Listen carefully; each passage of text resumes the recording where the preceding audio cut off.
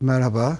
Ee, bugün ne diyoruz, ne anlıyoruz programında çok önemli bir kavramı tartışacağız arkadaşlarımla birlikte. Siyaset.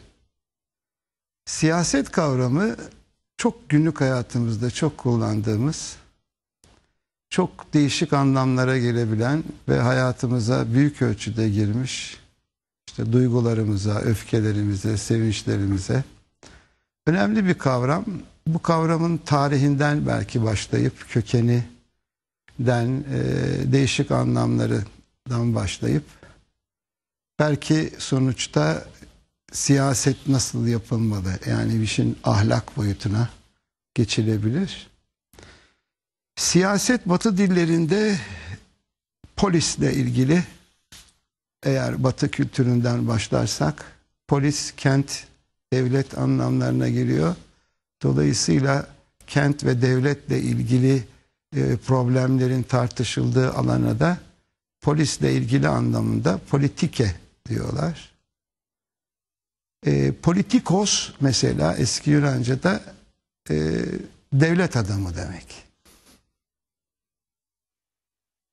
Bütün sorun benim anladığım e, bir topluluğun nasıl bir arada yaşayacağı ve nasıl yönetileceği sorusu. Çünkü insanlar toplum halinde yaşıyorlar ve bir toplumsal hayvanlarsa e, bunların bir arada nasıl yaşayabilecekleri, hangi yönetimle yönetilecekleri, yöneticinin kim olduğu, yönetilenin yöneticiye karşı sorumlulukları, yöneticinin yönetilenlere karşı sorumlulukları, politika, siyaset bununla ilgili e, bir kavramdır diye belki başlayabiliriz.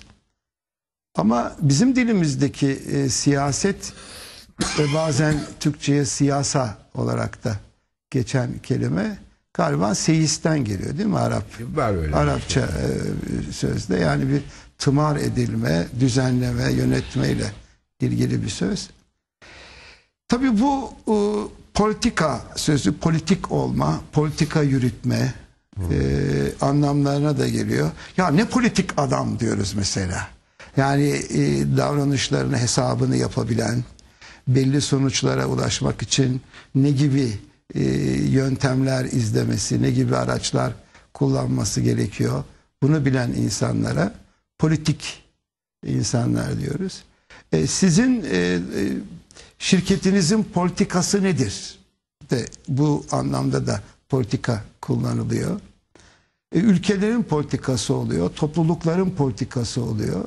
Belki bireylerin de olabilir. Yani benim hayattaki politikam anlamında.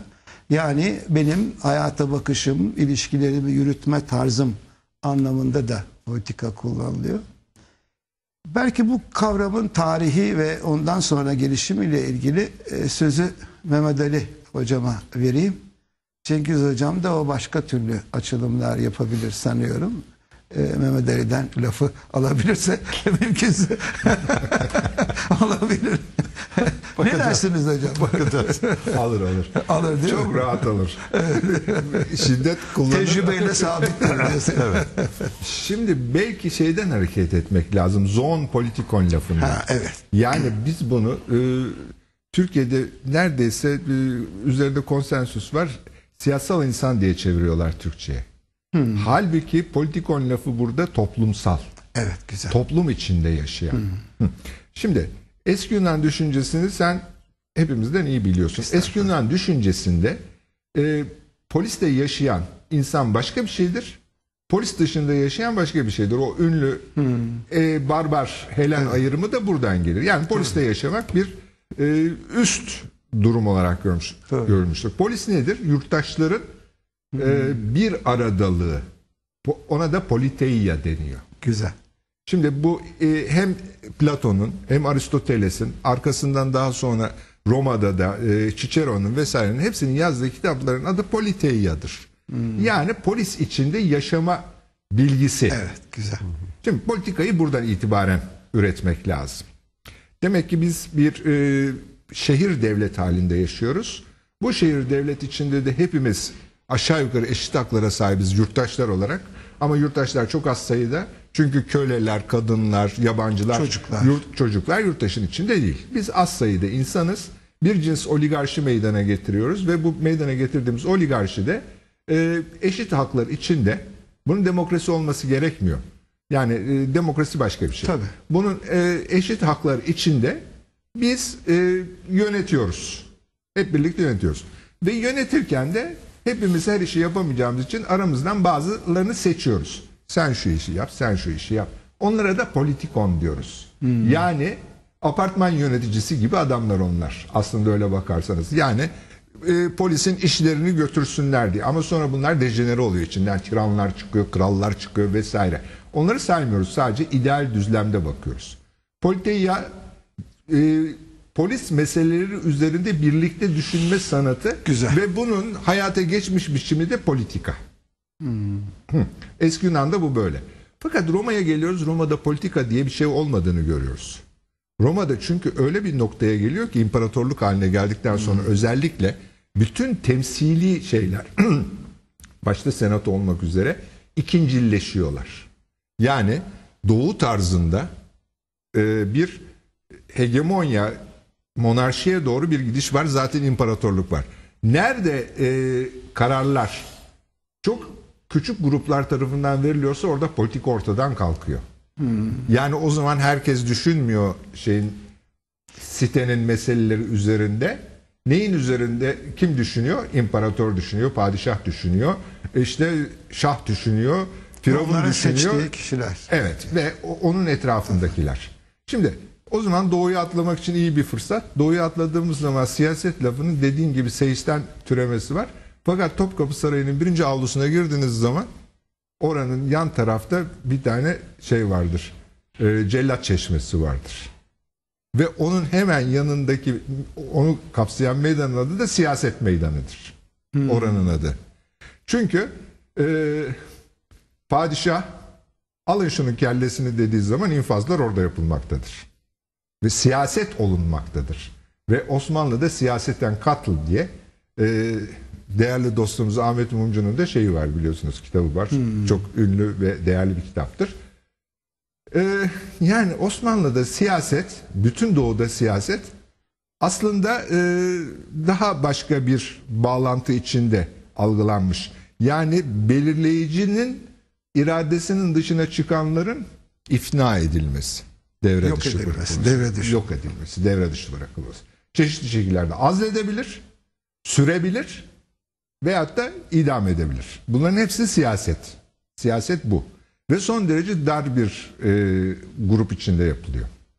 Fakat siyasetin aslında canlanması çok yeni bir olay. Yani bizim bugün alışık olduğumuz e, tabirler içinde yani partilerin e, var olmasıyla birlikte Demokrasiyle birlikte diyebilir miyiz? yani tam demokrasi olması da gerekmiyor aslında ama yani e, partiler vardır. Bu partilerin bir kısmı şeydir. e, örnek olsun diye söylüyorum. Yasa dışıdır. Ama parti vardır. Mesela komünist partiler e, çok uzun süre ve bir sürü ülkede e, Yasaktı. devamlı olmak üzere yasaktı. Ama bunlar siyasetin bir parçasıydılar. Faşist parti içinde bu böyle veyahut da başka cins yani sayabileceğim ideolojik partiler hep bunlar yasa dışı olmuşlardır. E, yasal sistemin içine sokulmamışlardır ama partidirler. Yani partilerin varlığı mutlaka demokrasiyi gerektirmiyor. Partiler olabilir, demokrasi olmayabilir. Doğru. Bütün partilerin katıldığı bir demokrasi çok nadir bazı ülkelerde ve nadir zamanlarda olabiliyor. Bugün mesela İngiltere'de, e, Almanya'da filan komünist partileri yasak. Yani o kadar şey e, demokrasinin beşiği olarak gördüğümüz yerlerde bile bu oluyor. Yani Amerika Birleşik Devletleri'nde var bir tane ama yani kendileri bile bilmiyorlardır nerede olduğunu filan o durumda. E, işte e, şimdi partilerin olması ve bu partilerin farklı sınıfları ve o sınıflarla özdeşleşmiş ideolojileri temsil eder hale gelmesiyle siyaset bir şey kazanmaya başlıyor. Gövde kazanmaya başlıyor. Bu da ne zamandır? Bunu çok geriye götüremezsiniz. Bu İngiltere'de Tory'lerle Whig'ler arasında yani bugünkü muhafazakarlarla bugünkü sosyalistler arasında veyahut da sosyal demokratlar arasındaki zıtlaşma, farklılaşma Yani 18. yüzyıla kadar hatta belki biraz daha öncesine kadar geri götürebileceğimiz bir olay. Arkasından diğer Avrupa ülkelerinde e, bir siyasetin gövde kazanması. Peki bugün mesela siyaset yapma, işte ben siyaset yapıyorum veya ya çok siyaset yapmak doğru değildir. İşte memurlar siyaset yapamaz, e, seçilmişler siyaset yapar. Yani siyaset yapmak diye bir kavram kullanılıyor. Ne olabilir abi o? Yani, Yani siyaset aktif- yapmak. aktif bir şekilde siyasal alana dahil olma, katılma. Siyasal olan ne? Hı. Yani bir toplumun kaderini belirlemede irade sahibi, iradesini ortaya koymak. İktidara aday olma. Bir anlamda ha şimdi Evet, yani tabii. siyaset Bir de çünkü hani apolitik sözü de var ya yani siyaset dışı deniyor Tamam. ki işte 1980'den sonra bizim gençlerimiz apolitikleşti, siyaset dışı kaldı. Yani bu şu ülkenin sorunlarıyla giderek ilgisini kaybetmesi. Çünkü ülke sorunları, ülkenin bir bakıma arzu ettikleri o politik görüşleri her neyse yani nasıl bir Türkiye için konuşuyorum. Nasıl bir Türkiye tahayyül ediyorlarsa o tahayyüllerini gerçekleştirebilmek amacıyla siyasal eylemlilik bu meşru bazen de gayrimeşru. Yani legal ya da illegal yollarla tamamen katılıyorum Mehmet. Muhakkak eylem olması lazım değil mi? Siyaset yapmak için Hayır, düşünce yani olamaz siyasal Hayır, bir şimdi bu- hareket illa bir partide olması gerekiyor. Burada bir şey ayırmak lazım ama bak müsaade edersen. Yani siyaset aslında her yetişkinin asli görevidir. Hepimiz siyasi insanlar. Sorumluyuz. Şimdi bu- Çünkü- burada o ama zaman bir de kastedilen profesyonel Ha, siyasi yani dediği meslek edinme yani siyaset meslek değil de iş edinme. iş, iş bir edinme. Çünkü meslek, siyaset doğru, meslek haklısın, olmaz. Doğru bir özel bir eğitimi ya da bir sertifikası yok ama doğru. Yani tam zamanlı İş neredeyse veya büyük enerjisini, gücünü, zamanını hatta parasını, pulunu yani ailesini ihmal edecek derecede Anadolu'da mesela böyle 40 yıldır ben siyasetin içindeyim diye övünen ve bundan gurur duyan bir takım insanlara rastlarsanız Aile hayatı felaket. Öyle mi? Ha mesela politikacının, siyasetçinin parası çuldur, karısı duldur derler. Öyle bir lafta vardır ya. Yani öteden beri de hem çekici caziptir çünkü iktidarla çok ilişkiye girmenin bir cezbesi, bir cazibesi var. İktidar odaklarıyla, araçlarıyla. Ama bir taraftan da riski ve tehlikesi büyük. Hele hele bizim gibi ülkelerde başına neler geldiğini görüyoruz. Doğru. Yani meşru başbakanını bile asabilen bir ülkenin her tür toplumsal muhalefetin bir, bir şiddet bir şekilde gözünün yaşına bile bakılmadan bastırılabildiği, kıyıma uğratılabildiği filan bir ülkede politikanın ürkütücülüğü bir yandan riskli, tehlikeli yani politik alana girme genel yani politika Ama bunu düzeltmek için de yine politikadan başka bir çare yok. Hayır o muhakkak Değil da, mi? o muhakkak da belki şu tartışmayı şöyle belki yani doğru toplumda antik Yunan'dan falan geliyor ama yani elinde sonunda bir yönetim erkiyle yani bu devlet kavramıyla boşuna değil yani politika Platon'un politikayı tutup da devlet diye çevirmeleri Ya tuhaf gibi politeia, geliyor ya- Ama ama çok bir tuhaf. yandan da hayır, çok tuhaf. tuhaf. Ona çok şiddetle itiraz hayır, ediyorum. hayır, bir saniye ama kastedilen yani devlet yönetimine dair devletin niteliğine nasıl bir devlet kimler tarafından çekip çevrilirse toplumsal huzurun ve diyelim ki refahın artması ancak yani devlet o kadar merkezi bir kavram ki siyaset alanının ve devlet nasıl bir teşekkül ediyor? Neyin nesidir devlet? Yani insanoğlu ta uygarlık tarihlerine, tarihine baktığımız zaman devletsiz bir toplum mümkün mü?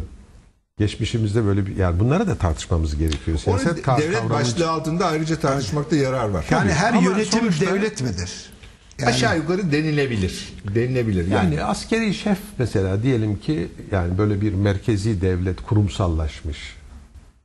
Yani görevleri, aygıtları alt insanlar değişiyor fakat o de- değişmeyen bir kurum. kurum var. Kurum. Tabii mesela yani göçebe ve çok daha bizim hani şimdi primordial ya da prim- primitif diye adlandırılan hani yazısız daha ilkel, Ha, ilkel teknoloji ve yaşam tarzı itibariyle bu tarz e, topluluklar hala var. O to- topluluklarda mesela Ha, bir yine var mı? yönetici var. Bir yönetici, Yönetici var. Han, han var mesela han. Han.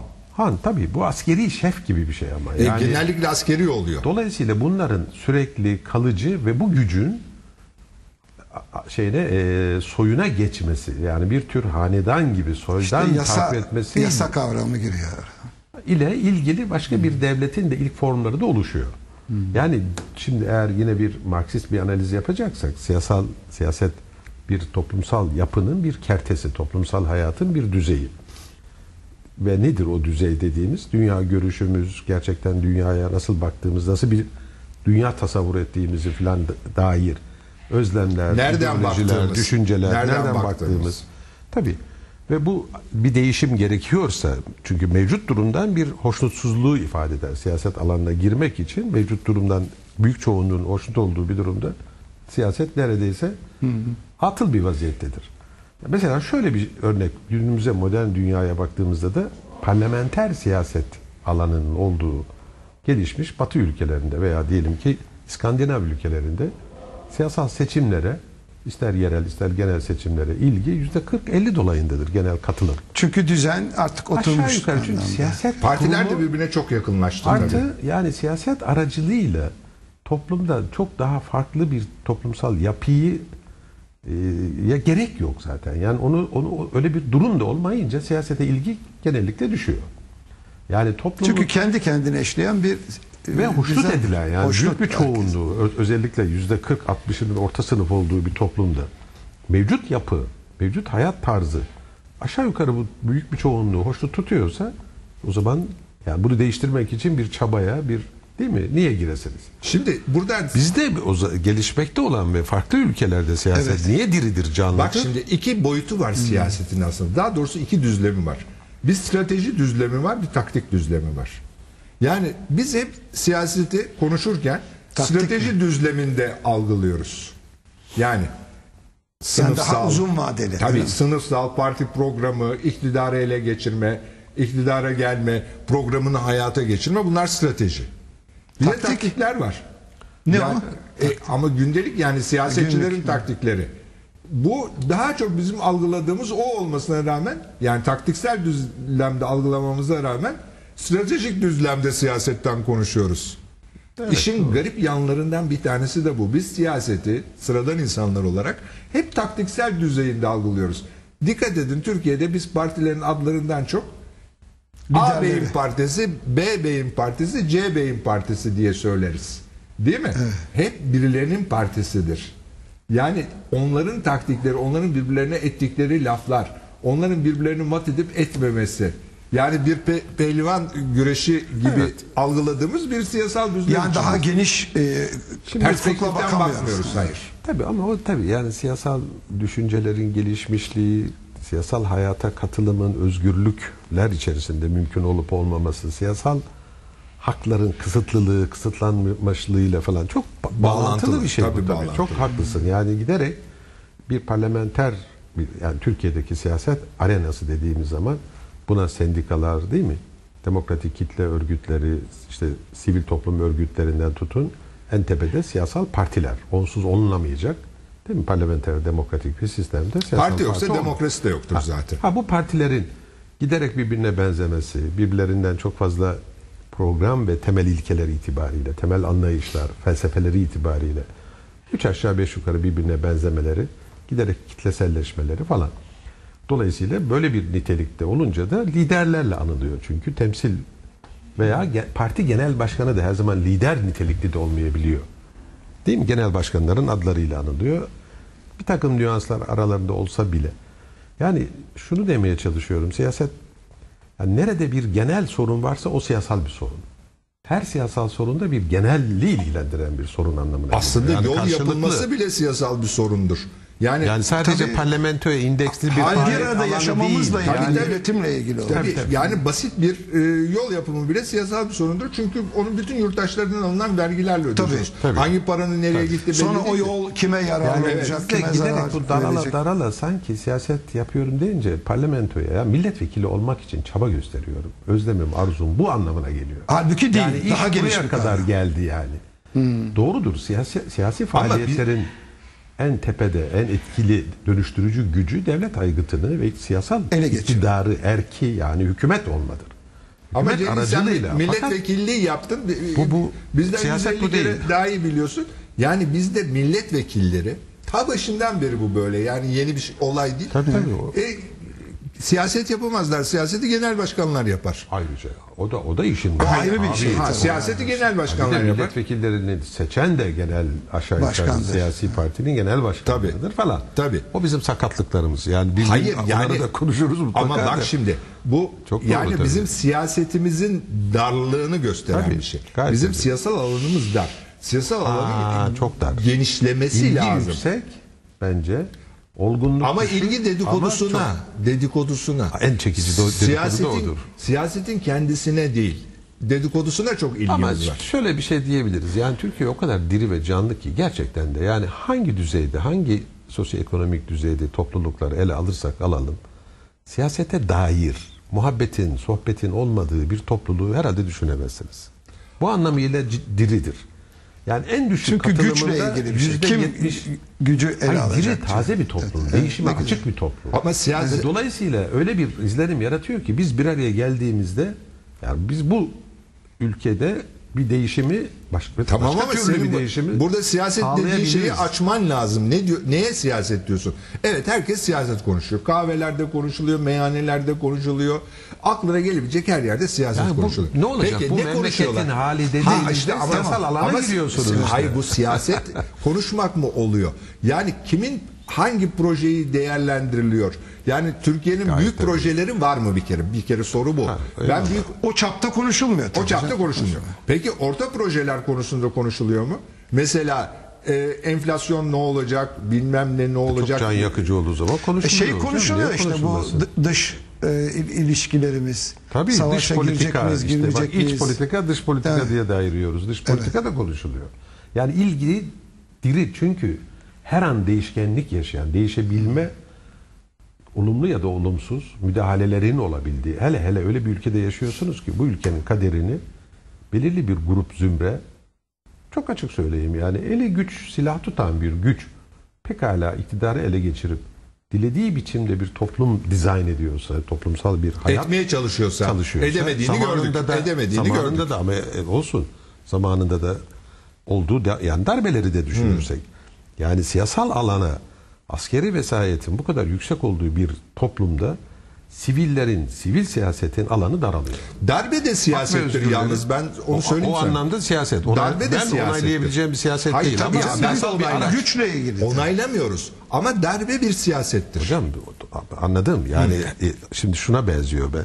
İkimiz ik- yani siyasetin aslı başkalarının ikna sanatı değil midir? Tabii. Rıza ve Demokratik siyaseti tanımlıyorsun sen. Gayet tabii. Demokratik İşte olmayan güç o nedenle, hayır o nedenle ben benim düşüncelerim, fikrim Hayır seni ikna etmeden de ben siyasetimi Olur mu güdebilecek canım iyi olur mu işte mesela hayır. boğazını sıkıp ben Hayır, hayır. yöneticiyim. Şimdi o da siyaset siyaset, mi o da siyaset. Hayır, hayır. silahın karşısında benim sözümün ne kadar esamesi okunabilir? Yani bu anlamda eşit koşullarda bir siyasal mücadele Ama vermiyor. bak şimdi demokratik olanla demokratik olmayan siyaseti birbirinden ayırmamız Tabii, lazım. gayet tabii. Ben Şimdi de- Her türlü güç mücadelesine sen siyaset, siyaset, siyasettir. Ha aslında İk- iktidar mücadelesi. İktidar mücadelesi. Öyle. İktidara yönelik her tavır siyasettir.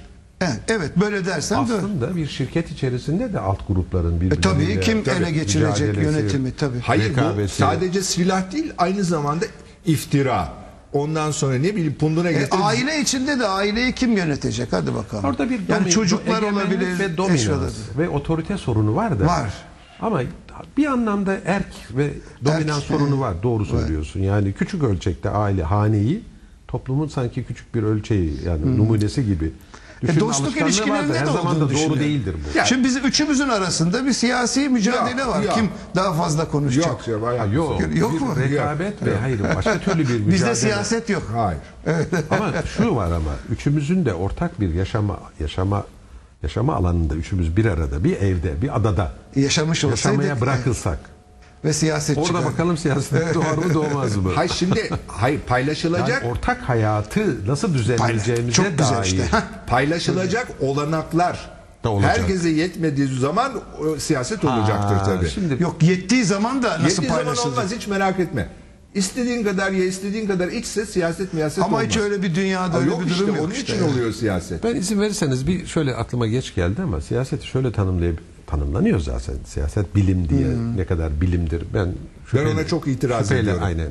Senin iktisata bilim diye bakmadığım gibi siyaset Yok iktisat için diyemeyiz. İktisat bilim canım, Hayır, siyaset değil. bence iktisat da değil de yani siyaset Ama bir derece farkı var. Bence psikiyatri de değil. değil o bir uygulama zaten bilim iddiası bilimselliği olur.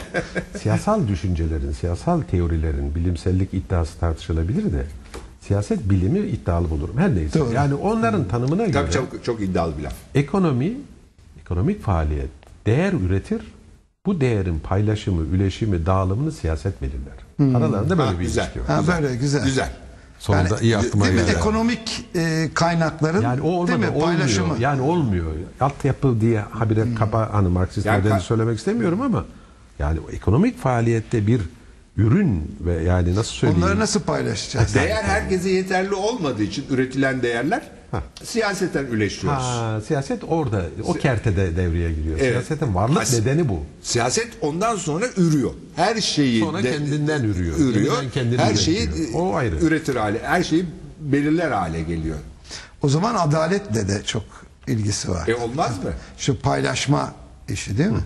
Hocam ben bu arada biraz da siyaset tarihinden bahsederken bir miktar bir iki şeyde mesela siyaset nameler Osmanlı'da ve Selçuklu'da da Abbasilerde de var zaten. Siyasetname aslında Doğu geleneğinde çok, eski. Çok eski. Hatta Çok- bana sorarsanız Neden söz eder siyasetname? Hocam ba- bana göre doğuda hep biz batıdan bahsediyoruz. Hep antik Yunan'dan falan tamam kabul de.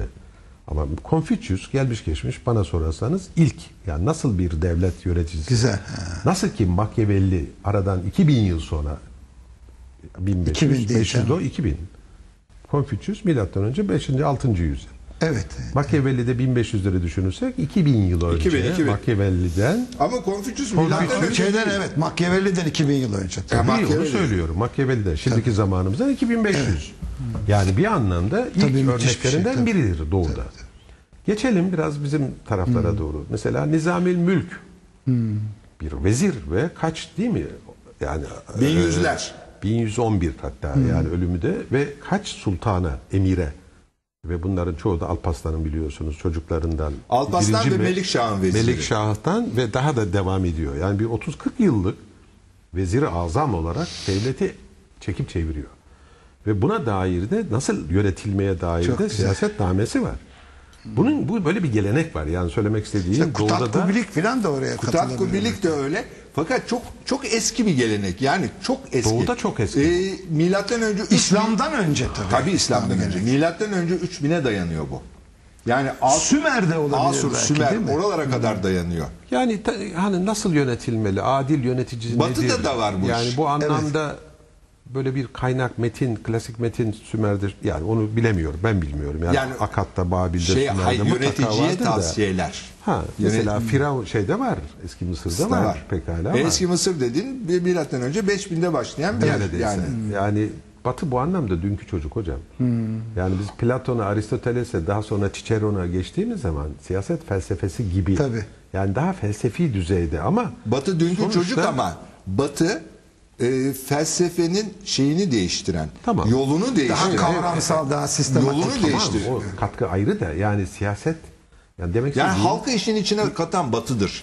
Bunu ihmal etmemek Tabii, tabii. lazım. Hayır, şunu ne söylemeye- eski Yunan katmıştır ne Hayır, hayır, şunu diğer. söylemeye çalışıyorum. Yani mesela Nizamül Mülk'te de ya da Konfüçyüs'te de bir de- yani bir devlet yani bir organik organik bir toplum bir dayanışma içerisinde bütünlük ve armoni ve barışı koruyacak bir erke Daire-i adalet işte o Osmanlı'nın meşhur daire-i adaleti. var. Ama bu bu erki nasıl kullanmalı? Ama bak Cengiz burada Beş radik- kuralında radikal bir farklılık var. Onu gözden kaçırma.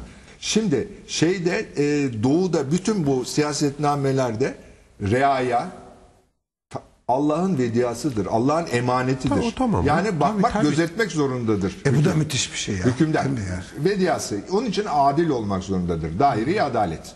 Tamam bunu nasıl açıklıyor Yani emanet kavramıyla Ama bak e, ama onun oyu yok. Yani o karışamaz. sen gözeteceksin. Tabii. Yönetici olarak. Halbuki doğudaki şey batıdaki siyasal devrim ne yapıyor? Siyaset senin alanın gel kendi Ha, meseleni doğru. kendin çöz. Hocam Bu o- büyük ama- kopuş. Tabii tabii ama o artık Büyük kopuş. Rönesans'tan sonra artık o 15. yüzyıla gelindiğinde yani bireyler siyasetin öznesi. Ama o Yani emanet de güzel bir düşünce. Hayır hoş. Hoş o çağlar için hoş. Tabii canım orada Ama yani sen bugün öz- emanet olmak ister misin? Hayır hayır eski E, kime emanet edeceğine bağlı yani. hayır Değil hayır mi? doğudaki eski antik çağlarda, eski çağlardaki bu merkezi devletlerin, merkezi imparatorlukların, geleneklerin çok eski. Yani Hint'te de, Çin'de de, bu- sonra da Rusya'da görüyoruz onu, Osmanlı'da falan. Yani bütün bunlarda hakikaten kul veya reaya türü yani insanın özgür birey, özgür yurttaş falan gibi bir Yok kavramı, öyle bir şey. çağdaş kavramı onlara atfedemeyiz. Yok. Ama buna rağmen hakikaten emirin, ulul emrin e, iktidarını ve toplumsal şeyi sürdürebilmesi için uyması gereken temel ahlaki kurallardan sadece bir ahlakçı olarak söz etmiyor. Bir sosyolog gözüyle de yani neredeyse sosyolojinin ilk verilerinden hareketle neyi gözetmelisin ki bu topluluktan verim alasın. Seni sadakatini yürütsün. Yarın öbür gün bir savaş durumunda sen bunları nasıl gönüllü olarak bu savaşa katabileceksin? Evet. Nasıl davranmalısın ki? Ya nasıl ele almalısın ki gibi tavsiyeler böyle sadece üstten ahlaki soyut şeyler değil. Değil değil. Toplumsal Pra- hayatın pratik şeyler de realitesinden. var. pratik Gayet şeyler. tabii. Gayet. Var ama ama sonuçta e, burada halkı meydana getiren birimler özgür birimler değil. Abi canım. Gayet Hani tabii. sesleri Gayet çıkmıyor. tabii. Anında. Gayet Sesleri tabii. çıkıyor. Sesleri Yani isyan da sırasında. Yani isyan çok nadir olan bir şeydir aslında. Abartılmaması gereken bir şeydir. İsyanlar devletin içinden olur.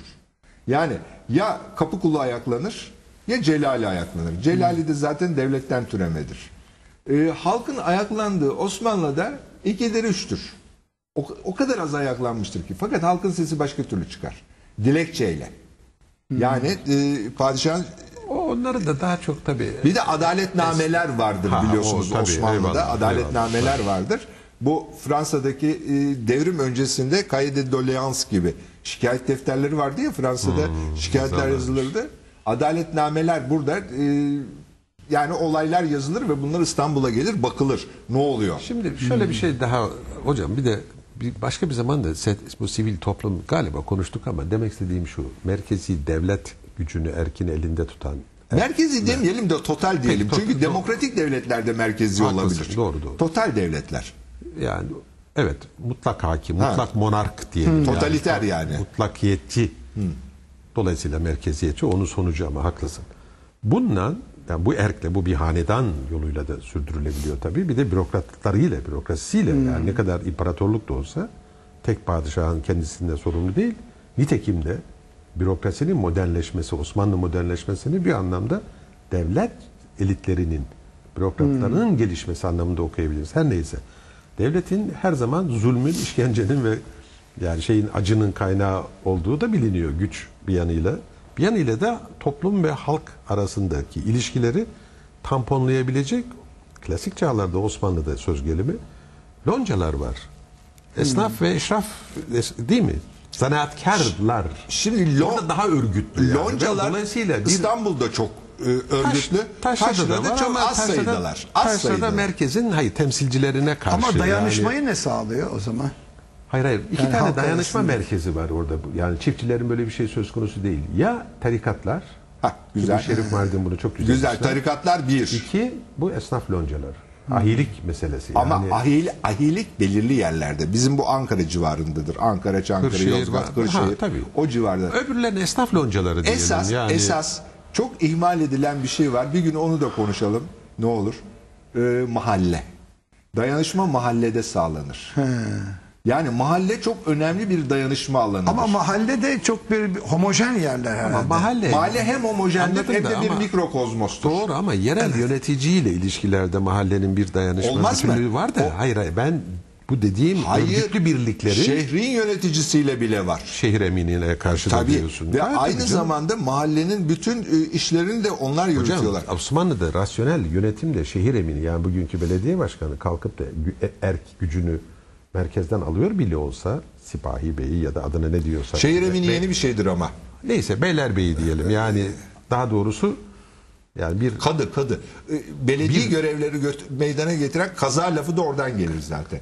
E, Z ile D karışır ya Osmanlıca okumada. Ramazan Ramadan. E, kazanın e, şeyini belediye görevlerini kadı yönetir. Kadıdır Tamam, yani peki. belediye başkanı kadıdır. peki merkezden Merkezde de kayınmakam gelen- yani bir vezir. Bir vezirdir. İstanbul'da da kayınmakam. Kaymakam lafını ürettik orada. da mesela livalar küçük birleşimleri demiyorum. İşte onlar- Sivas'ın söz gelimi büyükçe bir yani eyalet demesek bile yani Ama Büyük ona dur ne deniyordu ya? Sancak. e, sancak Büyük bugünkü, bugünkü ilçeye denk düşer aşağı yukarı. Sancağın İlçe, daha il. büyüğü neydi? Yani sadece bir il merkezi değil. Eyalet. Sivas bir, şey, Eyalet. bir bölgenin tümüne. Eyalet. Ama eyalet deyince hani Valilik de, ve- vilayet de deniliyor. Sonradan Ha, onun yöneticisi olduğunu- sadece şey değil hocam. Hayır hayır yönetici anlamında söylemiyorum. Yani belediye görevleri gören Ha, kadıdır. Tamam, o doğru. Kadıdır. Onlar Eğer üretimi büyükşehir, denetliyor, mahkemesi. büyükşehir kadısıysa ona molla denir. Büyükşehir kadılarına molla denir. Bir de kazasker var. Daha Kazasker asker, asker kadısıdır. Ama kazasker benim bildiğim Ama yani neyse bu şey- siyaseti yani O- o, kadar ayrıntıya girip değil mi boğulmayalım da yani Adalet siyasi- Bakanı yani kazasker. Hayır, Şeyhülislam'ın şeyi farklı. Kazasker yani resmen- bizde siyasi yaşamın genel Ha, geçesi eyvallah, eyvallah. yani sonuçta Topkapı Sarayı'ndadır bu iş. Yani O karar veriyor. Topkapı Sarayı'ndadır bu iş. O orada olur biter. Canım, me- yani merkeziyetçilik ha, yani hani bu Prens o Sabahattin'in galiba ademi o etki devam ediyor kadar değil mi şu 600 anda yıl. yani merkeziyetçi En azından tavır, zihniyet olarak. zihniyet olarak Kesinlikle. silinmiş değil herhalde. Tabii. Değil mi? Şimdi bak Topkapı... Yani ademi merkeziyetçilik hep e, ileri sürülür savunulur. Şimdi Ahmet sana iki tane örnek vereceğim. bir tanesi Pekin'deki yasak şehir. Tamam bitmedi mi? Pekin'deki yasak şehir. Bir tanesi Topkapı Sarayı. Topkapı Sarayı hem padişahın e, şeyidir, e, İkametgahı. ikametgahıdır, Rezida- mualla yani onun aynı şey, zamanda da hem, yönetim. hem de devletin yönetildiği yer. Bak şimdi. Baba Yani- Ali daha 19. yüzyılda Tabii. sonra Ne, yani. kadar kendinin içine almış. Aynı şey yasak şehir. Çin'in e, şeyi e, hem yasaktır, halka yasaktır, herkese yasaktır. Hem imparatorun oturduğu yerdir, rezistans, rezidanstır. Hem de aynı zamanda devletin yönetildiği yerdir. Şimdi bu bu dikkat edilmesi gereken bir şey. Bu siyasetin minimuma indiği total devletler bunlar. Bir de siyasetin maksimuma çıkmaya çalıştığı O zaman siyaset yapma her bireyin değil mi sorumluluğunda olan bir şey şimdi artık. Yani şu, anki Hem çağdaş yaşamı görevi, görevi. Görevi. Görevi. Yurttaş olmanın birinci şartı siyasete müdahil olmaktır. Evet. Ama ne kadar çalışır? Yani sonuçta herkes gönlündeki yönetimi e, yönetime göre e, kararlarını verse, ona göre eylemde bulunsa e, gerçekten sağlıklı biçimde e, herkesin fikirlerinin bir araya geldiği bir e, yönetim şeyi çıkacak mıdır Ama yukarıda? Ahmet bir siyasetin, güç. siyasetin basamakları var. Mesela mahallenin sokakları şey içinde, çukur içinde oyun için bir siyaset yapılır. Mahalle siyaseti. Veyahut da oturduğun bölgenin bilmem nesi bilmem ne lambaları yanmıyor. O bö- bölgede bir siyaset. Bugün batıda siyaset bu düzlemde yapılıyor. Yani doğrudan doğruya seni ve beraber yaşadığın insanları ilgilendirenler düzleminde. Ve aşama aşama bu ülkenin tümünün yönetilmesine doğru giden bir şey. Demokrasi böyle bir şey. Demokrasi böyle kocaman ideallerin peşinden koşmak değil. Önce evden başlıyor o zaman. Evden başlıyor. Çok hoş bir şey var. Şimdi diyelim ki yani bu, bu merkezi ve devlet aygıtının ululuğu, yüceliği, büyüklüğü bir yanıyla korku da, dehşet de uyandıran, oradan da gücü daha da artarak devam ediyor ya. Ha bir taraftan da günlük hayatımızda ne aksasa devlet nerede? Ha, hemen oluyor. Devlete sığınma, Ama neden? Neden? İşte, hayır, bu Siyasetin öznesi Hayır. olmadığımız için. Ha, bu en iyi göstergelerden biri. Yani Siyaset biz ne yaptık da başımıza bu geldi değil mi?